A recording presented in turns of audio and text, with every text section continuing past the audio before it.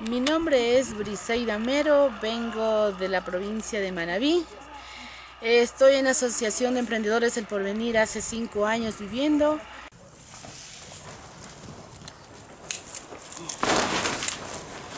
¿Están listos?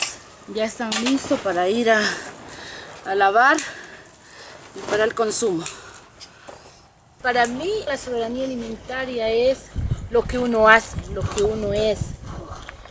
Por ejemplo, yo me siento bien trabajando, sembrando y como digo, los excedentes que quedan del huerto son vendibles para los otros compañeros.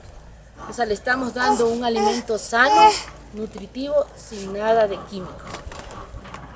Como digo, también hacerlo como nosotros como personas también, saber que podemos trabajar y desenvolverlos muy independiente de los del esposo.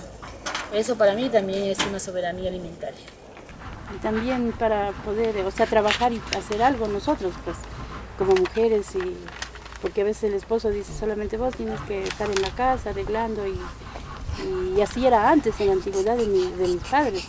Ellos solamente, mi mamita sabía tener que cocinar y ir a dejar el almuerzo y nada más. En cambio ahora nosotros, yo, yo por mi parte, yo digo, de mi parte soy libre, ¿no?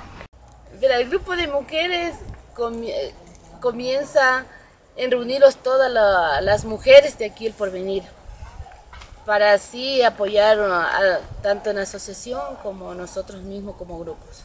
El grupo de mujeres se ha formado porque para hacerlos conocer que las mujeres también podemos, también luchamos y también podemos, sea, no solamente que, como dice el hombre, es el que manda, no, hacerlos ver que las mujeres también, no que mandamos, sino que hacerlos ver que, que sí podemos hacer alguna actividad, desenvolverlo sola.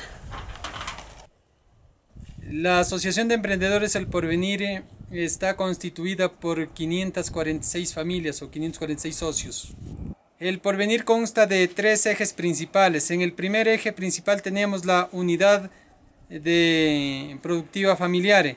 Cada socio en esta unidad goza de su huerto familiar que es de 300 metros.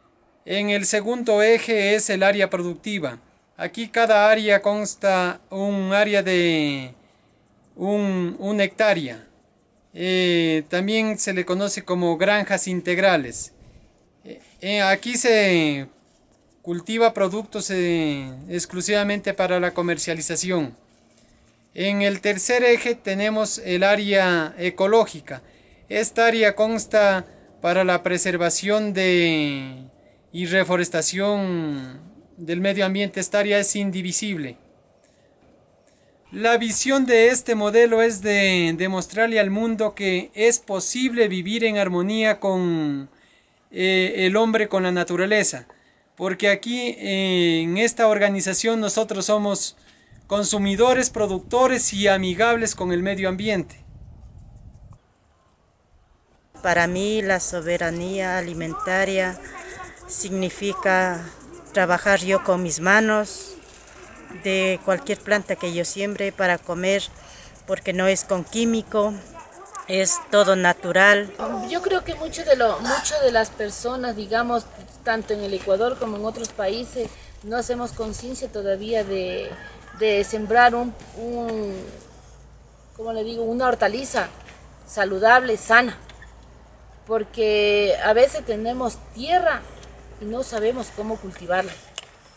Lo que hacemos nosotros es más práctico coger ahí un mercado, un supermercado y ya, listo. Pero lo que trabajamos el día a día, labrando la tierra como pequeños productores que somos, sí sabemos cómo, o sea, cómo vamos a sembrar y qué es lo que vamos a consumir. Esta es la bodega de todo lo que es productos orgánicos. Tenemos desde las semillas hasta los fertilizantes. Esta es la semilla de la remolacha. Semilla de remolacha que no necesitamos de, que vengan otras empresas multinacionales a inducirnos semillas eh, eh, transgénitas, cuando nosotros gozamos de nuestras propias semillas y que son semillas naturales. ¿De qué soberanía alimentaria estamos hablando? Cuando con esto lo que estaríamos dando realce es a los agroexportadores, porque ellos les, lo que les interesa es cultivar eh, algo masificadamente, cuando quizás nuestras semillas no producen a lo que ellos esperan, pero sí eh, produce, producimos eso, eh, algo sano, algo amigable, tanto para la salud como para el medio ambiente. Eso sí sería bueno de, de que pongan un poquito oído a nuestras organizaciones campesinas y nos escuchen nuestras voces.